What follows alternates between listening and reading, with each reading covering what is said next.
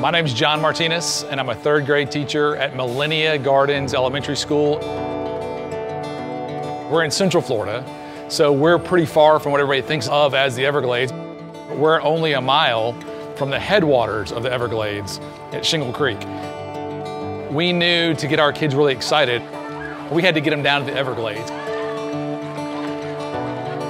We really believe you have to love it to save it. And the way you fall in love with places like the Everglades is to go experience it. These kids are future voters.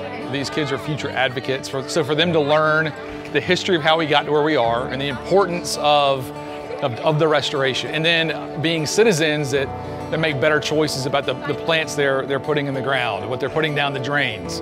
Uh, those are all things that are creating advocates that we hope in the future will continue this restoration of the Everglades, continue to make better choices as consumers.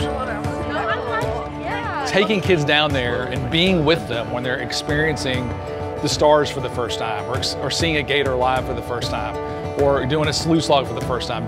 When you're with a kid, when they're experiencing something like that, it's indescribable. It's the reason we do what we do, and it's one of the highlights of my career.